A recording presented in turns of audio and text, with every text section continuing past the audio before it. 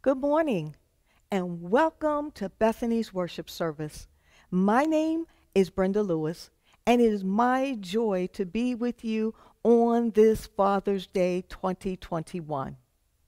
We at Bethany have been blessed throughout the month to lift up the men and the various areas in which they have shared their gifts and talents with others.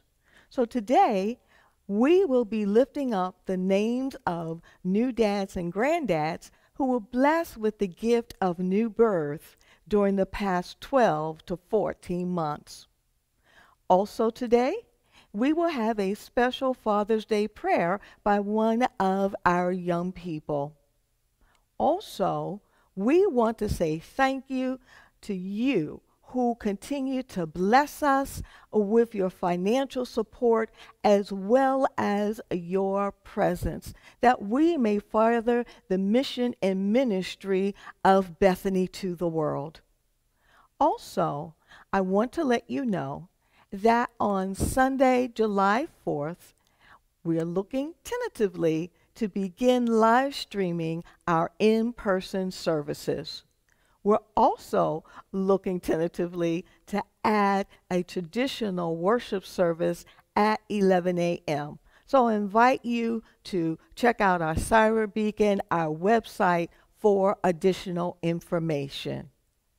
And last but not least, thank you to our missions committee who continues to be a blessing to those in our community. And now, please join me in a word of prayer. Gracious and loving God, we thank you for this day and we thank you for the many ways that you bless us as we gather from near and far. We ask, Lord, that you pour out your blessing upon fathers and father figures all over this world. And most of all, God, we thank you for Jesus. And it is in his name we pray. Amen and amen. Now, church, let's worship.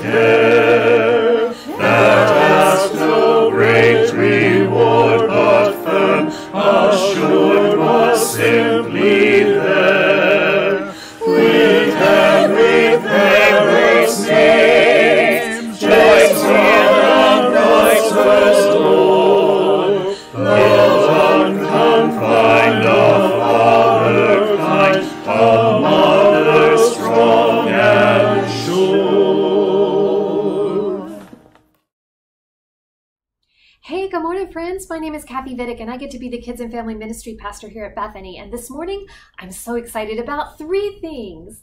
The first thing I'm excited about is that I get to see you here this morning.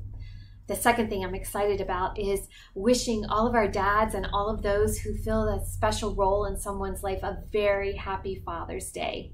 You guys rock. The third thing I'm so excited about today is being able to talk to you again about our Life app for this summer. Now, last week I said that our Life app for this summer is the most important Life app to know and to follow. Last week I said that if you could only know and follow one Life app, this would be the life app to know and to follow. Do you remember what it is? That's right.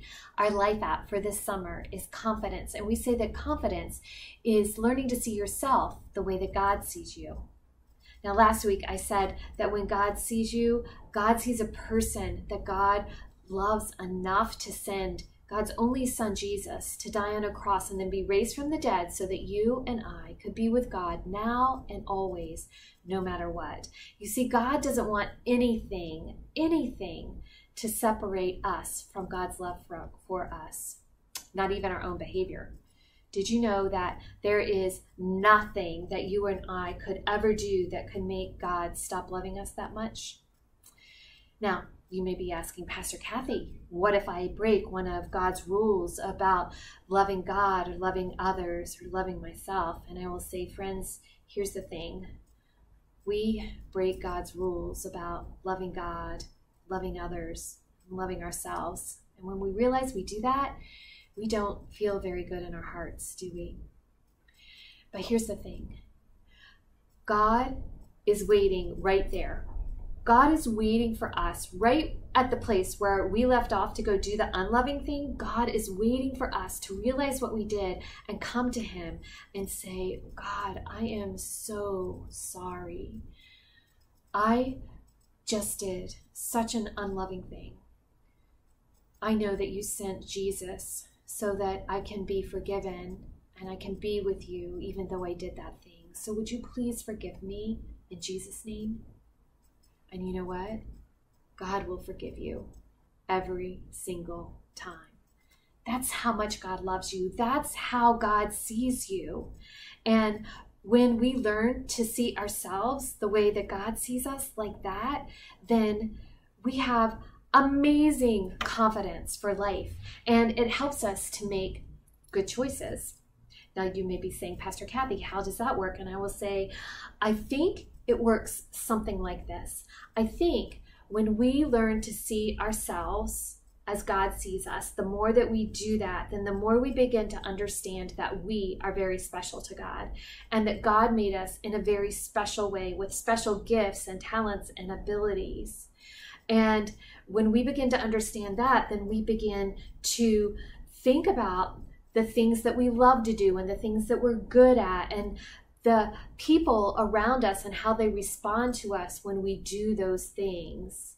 And when we begin to understand how much doing those things blesses all of the people around us, then it becomes more important for us to do those things and it becomes less important for us to do other things. What other things you might be asking? Well, some of those other things might be things that come up in our heads, or we might get invited to do things that we're not entirely comfortable with, that our parents definitely wouldn't like if we did, things that might make God sad if we did. Those kinds of things become much less important to us. And that makes it much easier for us to say no thank you to them. I don't need to try that thing because I know how much God loves me I know how God sees me, and God sees me as this special person that He created to do these amazing things. That is confidence at its best, my friends. Now, next week, I get to talk to you about confidence one more time, and I can't wait. But in the meantime, I hope you have a great week. I hope that you remember how much God loves you, and so do I. See you next time. Bye bye.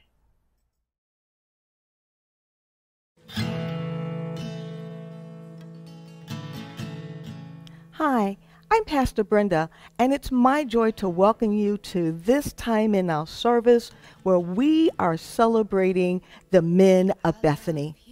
This week, we are celebrating those individuals who were blessed with the gift of a new birth through way of a son or daughter or grandson or granddaughter during the past 12 to 14 months. It is always exciting to have new birth and additions to the family.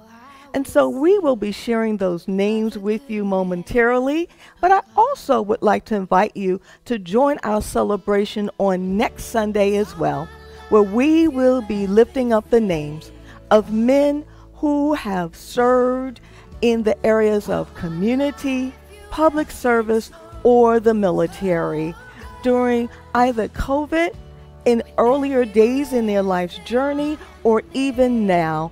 We want to show our appreciation for them being a part of the family of Bethany and blessing others. So you can email me at brenda at bethanyum.org.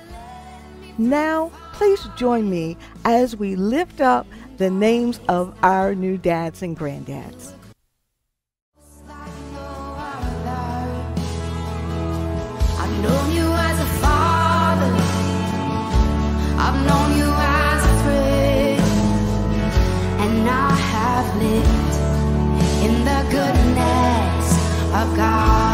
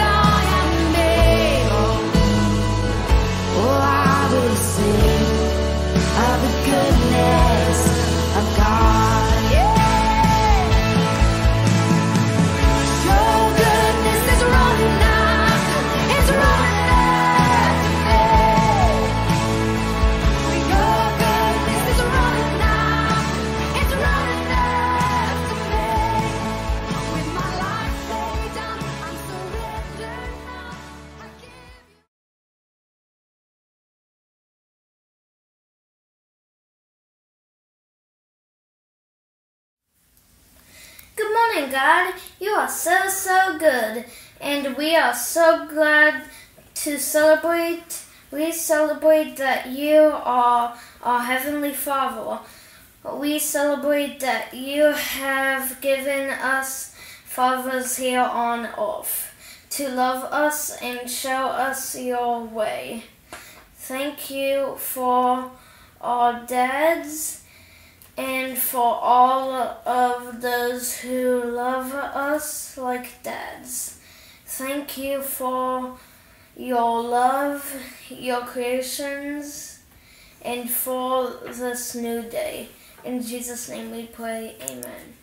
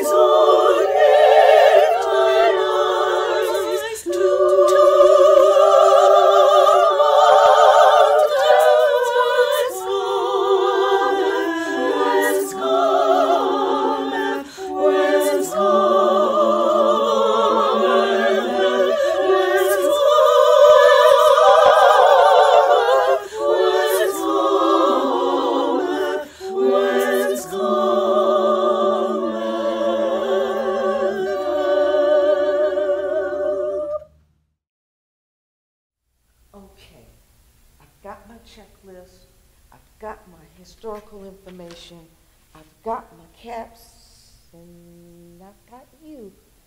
Hey, maybe you can help me this morning, friends.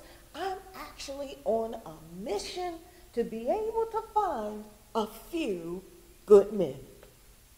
I have decided that just because the military has certain slogans that they use to recruit people during this time, I think that we could possibly use some of those same words that they used back in 1779 when they were trying to recruit people into the Marines.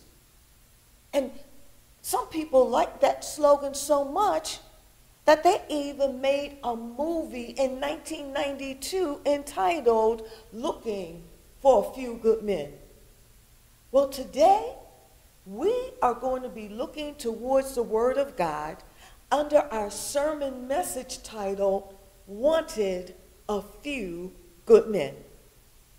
Many of you know who have been in the military that there are certain requirements and checks that need to be fulfilled in order to meet the obligation and requirements to be a Marine.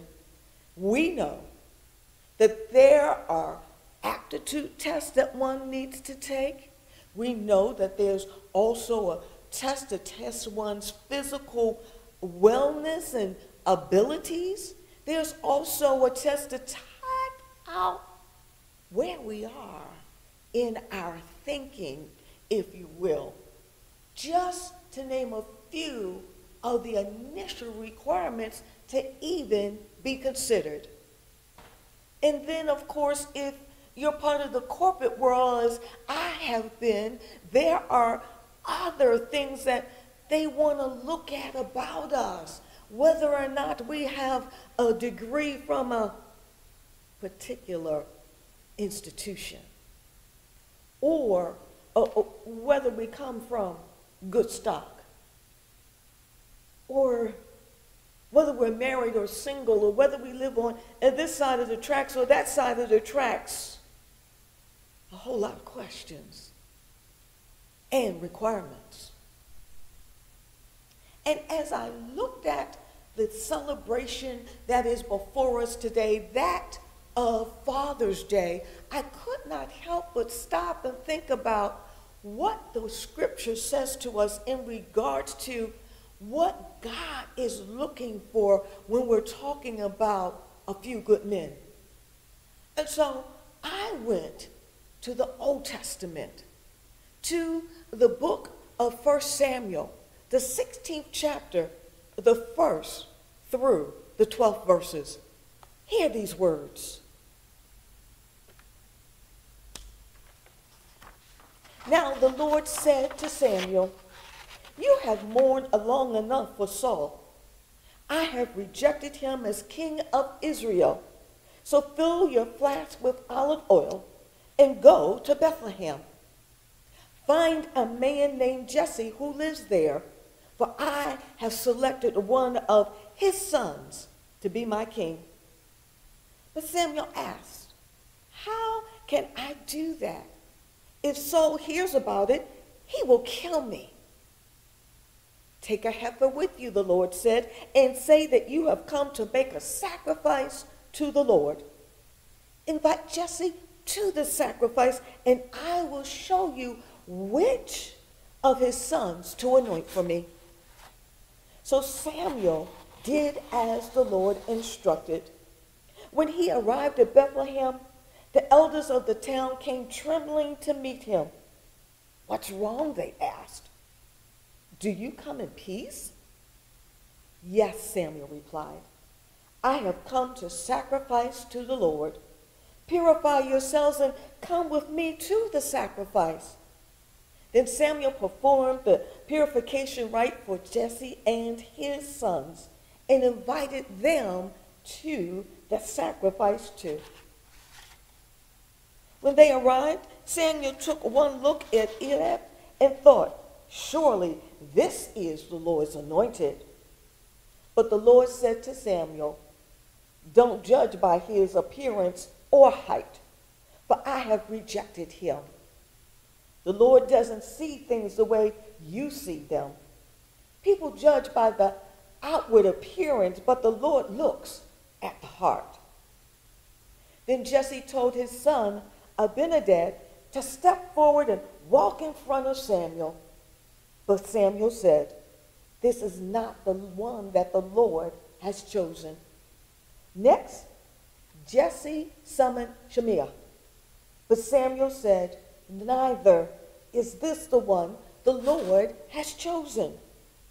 In the same way, all seven of Jesse's sons were brought to Samuel. But Samuel, excuse me, said to Jesse, The Lord has not chosen any of these. Then Samuel asked, Are these all the sons you have? There is still the youngest, Jesse said, but he's out in the fields watching the sheep and the goats. Send for him at once, said Samuel. We will not sit down to eat until he arrives. So Jesse sent for him. He was dark and handsome with beautiful eyes. And the Lord said, This is the one. Anoint him. So often, my friends, when we talk about looking for a few good individuals, more specifically, when we talk about looking for a few good men, sometimes we think that we can do it as the world would say, and all we need to do is just toss out a few little trinkets and things and see how grateful they are, how willing they are to stoop to our ways and to be one of the group. But that's not what God looks at. For it tells us in this Old Testament scripture that God does not look at the outward appearance, but God looks at the heart. I would say the same is true when it came to when God had called others who were either in the same age group of David or maybe a little bit older, such as Jeremiah, who had to go and to tell Jerusalem that God was not happy with them, and yet God reassured him that he knows the plans that he had for this young man, plans for a future and a hope, plans that he would prosper. This is not the only time that God has spoken to men of various ages and have sent others to go and seek them out, to be a part of his greater plan. For if we look in the chapter in the Gospel of Matthew, I'm sorry, if we look at the Gospel of Matthew, the fourth chapter, the 18th through the 22nd verses, we find Jesus beginning his ministry. And at the 18th verse, it says, One day as Jesus was walking along the shore of the Sea of Galilee, he saw two brothers, Simon, also called Peter, and Andrew, throwing a net into the water, for they fished for a living. Jesus called out to them, Come, follow me, and I will show you how to fish for people. And they left their nets at once and followed him. A little further up the shore, he saw two other brothers, James and John, sitting in a boat with their father Zebedee, repairing their nets. And he called to them, too. They immediately followed him, leaving the boat and their father behind. When God is looking for a few good people, more specifically, a few good men, he is looking for those who are willing to trust him, those who are willing to leave their past behind and to seek out what is before them, willing to press, if you will, to something far greater, willing to understand that God created us in his image, and he said it was good. Men, regardless of whether or not you have all of the accolades that the world would look for, whether you went to this university or that college, whether you have a large bank account or no bank account at all, whether or not you live on this side of the tracks or that side of the track, God is looking at the heart. And as I looked at this and I examined it more, I thought about when do we go to the doctors. Some of us go just to make sure that everything is still in a working order and you know the routine. He has the stethoscope or she has a stethoscope. She has the device that will check out our eardrums and they look in our nostrils. They also look down our throats and they also tap on our chest as well as our back and then they take out that little gizmo that'll make your knee jerk in funny ways to see if things are okay. But understand a lot of this is what the physical eye can see. However, God doesn't go by what the physical eye sees, but what the spiritual eye is able to see. The same is true if we go to a doctor to say, I don't feel quite so well. And they send us for various tests, some for x rays and others for ultrasounds. And then there's the CAT scan. And oh, yes, we can't forget that glorious machine called an MRI. Each of these are able to examine different parts of our body and also report the different things that they see, but it doesn't always tell everything depending on what test, what device that they use. The same is true, I would say, for the human eye. If we're going and we're looking for those good men to see whether or not they are able to be fathers to the fatherless and those who are willing to work alongside those who have hit a few bumps in the road or who are, are willing to come and teach a Sunday school class or come on a Sunday night and welcome in middle school and high school youth who may have come for the very first time. God's not looking at their outer appearance. God is looking in heart. Those who know how important it is to be in someone else's life, to give them hope, to let them know that they're not walking in this world alone that there is someone who does love them. There is someone who does care about them. There is someone who is willing to look beyond their faults and see their needs that they can continue on this journey called life, but not just life, but discipleship. Not just life, but a life worth living for God. Friends, when we talk about looking for a few good men, and we can always go to the Word of God because when we understand that when God is present in our lives and we trust God to be there for us, then we know, as Paul told the people in Romans in chapter 8 28, that we know that for, I'm sorry, and we know for those who love God and are called according to his purpose, that all things will work together for good. We understand that Micah in the sixth chapter had the words, He has told you, oh man, what is good and what does the Lord require of you? But to do justice and to love kindness and to walk humbly before our God to understand that the God who created us is the same God who was calling us through his son Jesus Christ and now by way of the Holy Spirit that we can realize and be able to not be concerned about what the world has to say, but understand what God has to say. And God asks us to come as we are Because he is the one who sent Jesus to die on the cross that we might be saved, that the blood that was shed on that old rugged cross is able to wash away all of our sins, all of our past sinful behaviors, and usher us into a place of forgiveness. But not only forgiveness, but a journey like none other.